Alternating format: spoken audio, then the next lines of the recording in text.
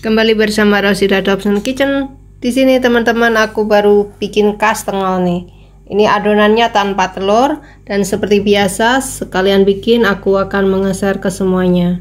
Gimana saya membuatnya? Gampang sekali.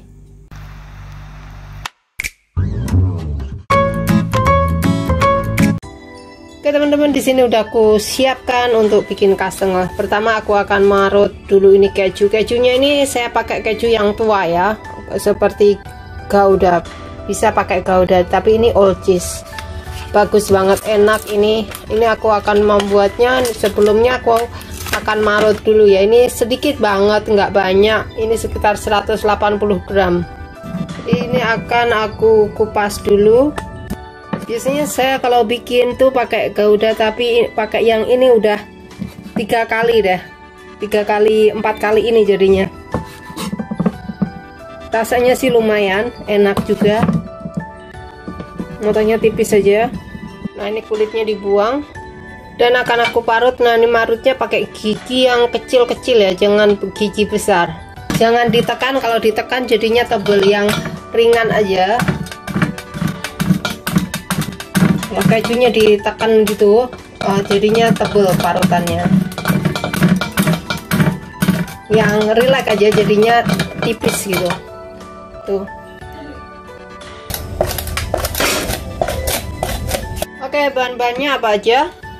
Di sini keju yang udah aku parut 180 gram yang old cheese keju tua tepung terigu all purpose flour atau terigu pros sedang 500 gram atau setengah kilo. Garamnya setengah sendok teh. Kalau butternya yang asin jangan pakai garam ya karena asin banget nah di sini butter atau mentega 250 gram. Nih 250 gram minyaknya 60 ml nah teman-teman jika nggak mau pakai minyak tambahkan butternya menjadi 350 gram ya. Jadi saya pakai minyak ini menghemat 100 gram butter.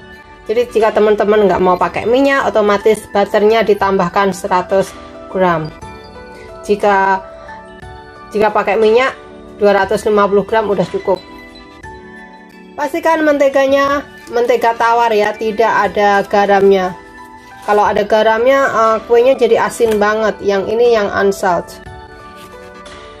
Oke langkah awal yaitu yang pasti ini mentega atau butter. Suhu ruang ya jangan dingin. Kalau dingin nanti susah di dikocok ya. Ini ngocoknya saya pakai garpu aja nah ini menteganya jika diganti margarin boleh tapi jadinya asin sekali ya karena kejunya aja udah asin oke Nah, jika pak, teman-teman pakai 350 gram butter, garamnya jangan pakai ya. Ini saya pakai karena pakai minyak dan kurang asin. Waktu lalu kurang asin gitu. Ini akan aku lembutkan dulu. Jika mau pakai mixer silahkan.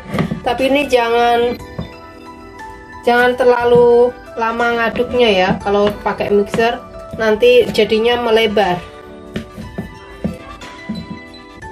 nah ini di gini aja ntar juga lembut sendiri ya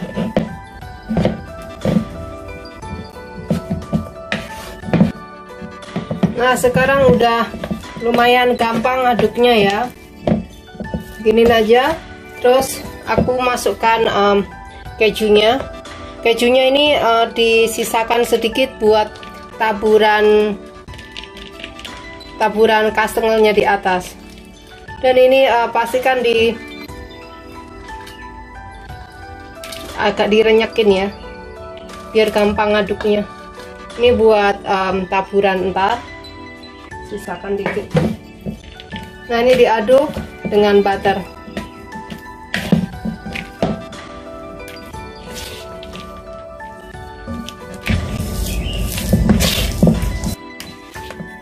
Dan ini udah sekarang aku akan masukkan um, tepung terigu. Nah nanti minyaknya habis ini. Tepung terigunya mau diayak silahkan. Enggak juga oke okay aja. Dan masukkan garam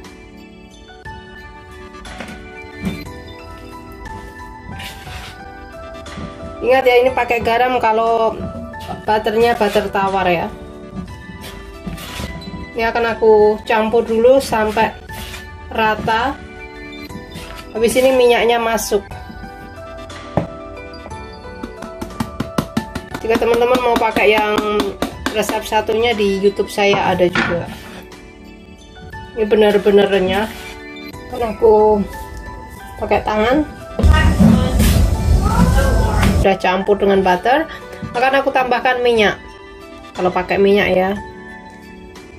Minyaknya 60 ml nah sekarang dicampur sampai bisa adonan bisa dipegang. Dipegang hasilnya di, bisa dibentuk gitu ya. Aduk terus sampai menjadi adonan.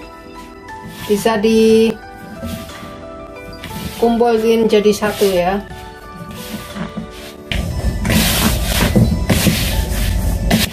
nah sekarang tinggal pipihkan. Nah sekarang kan aku pipihkan ini pipihkannya sedikit demi sedikit ini sekitar separuh ya. Pipihkan.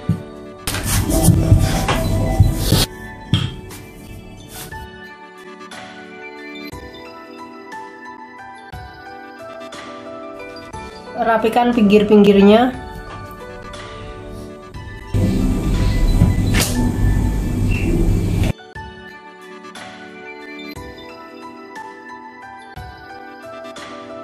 dan di sini aku pakai penggaris ya jadi biar dan ukurannya segini gini jadi ini tanpa cetakan.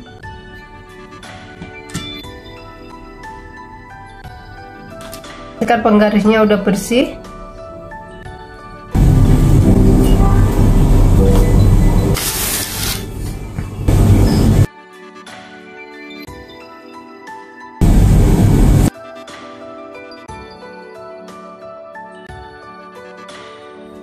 dan untuk um, poles telurnya saya pakai dua kuning telur akan aku tambahin satu sendok makan susu ya susu full cream. Bukan susu manis ya. Jadi nggak um, terlalu kental gitu. Lalu tabur atasnya dengan keju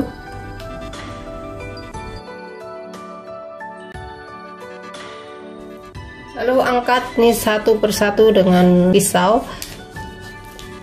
Ini loyangnya udah aku alas dengan kertas baking 7 seperti biasa. Kalau baking saya pakai kertas itu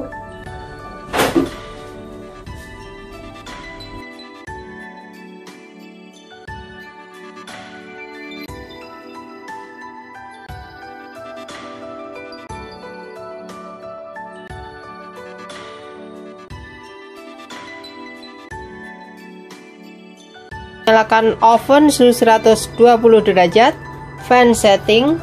Jika api atas bawah beda lagi. Dan teman-teman kenalin oven masing-masing ya. Panggang sekitar 30an menit low heat ya. Jadinya benar-benar tanak biar kuenya awet.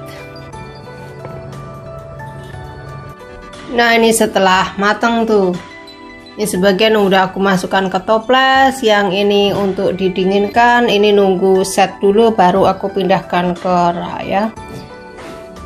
Dan ini um, ini bisa tahan lama banget. Kata mbakku yang aku bikinin waktu pulang ke Indonesia tuh bisa berbulan-bulan ya.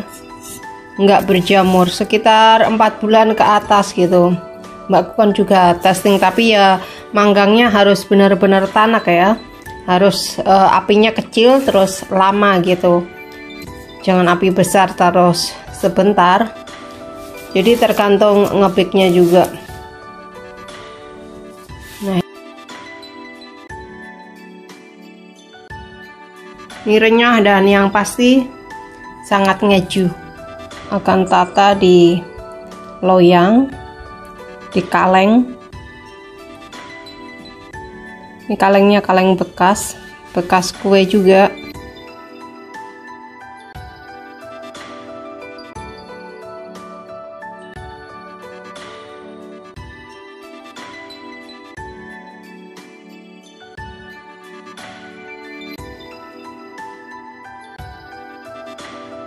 Jadi dua ya ini satu kaleng dan ini aku taruh di kotak. Ini jika mau awet akan aku bekukan yang satu ya ini dimakan.